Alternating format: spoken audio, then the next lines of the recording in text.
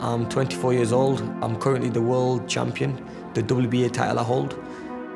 There comes a time in this sport where you think, just before walking out in the ring, you think, what am I doing in this sport?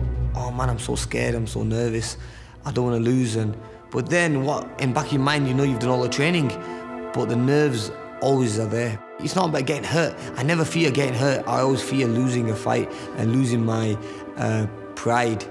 This is Ring Life, Amir King Khan.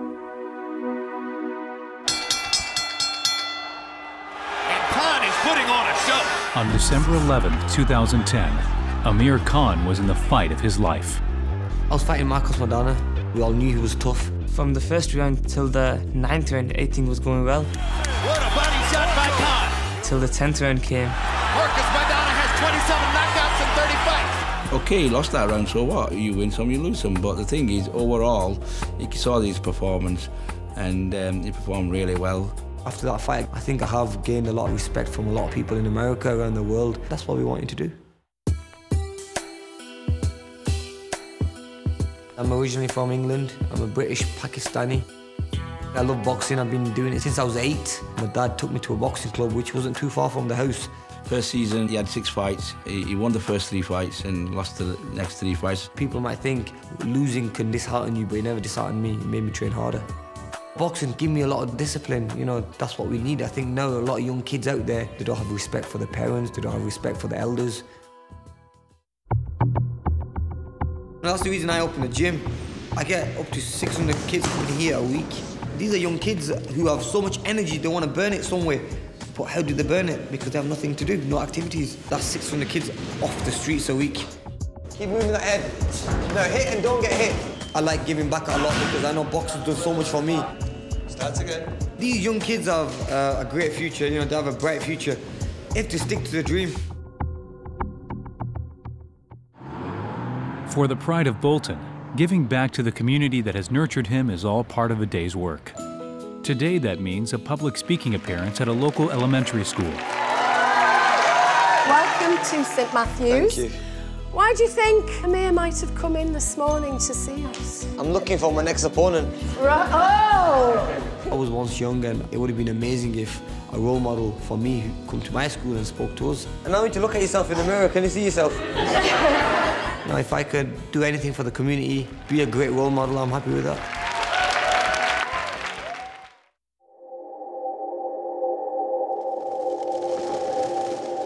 I'm a practicing Muslim. I've been to do my pilgrimage twice. I know in boxing, sometimes when you're in a ring, it's a lonely place, but you know, my religion keeps me strong, my faith keeps me going. It's given me so much discipline and strength going into a fight. Uh, teaches me to respect elders and respect my parents.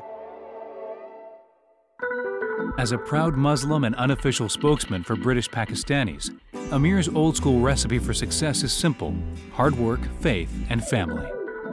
Well, Amir is uh, he's very close to his family, his brothers, sisters. I'm a mum's boy. And I think I'm spoiled by my mum.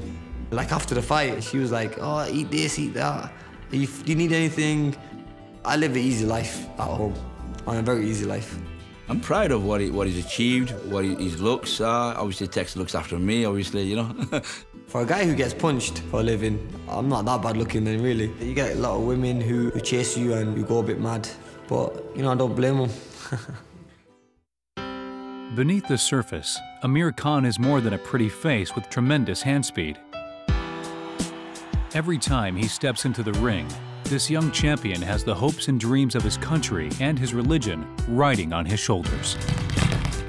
I want to become one of the best fighters in the world, pound for pound. And to do that is to beat the best fighters in the world. I'm thinking of maybe retiring around 28 because end of the day, you know, I want to look after my family. he sets these goals and he works very hard and he does achieve them. And I think that's why he's- he's where he is today. When you go to his fights, you see all different colours, ethnics, all different religions come to his fights. So Amir Khan is uniting the country. It's funny how my life's changed in the last few years because, you know, from a normal person, you know, being a superstar around the world and being known all around the world, it's, it's amazing in a way. It just shows that, you know, working hard and being dedicated to your sport pays off.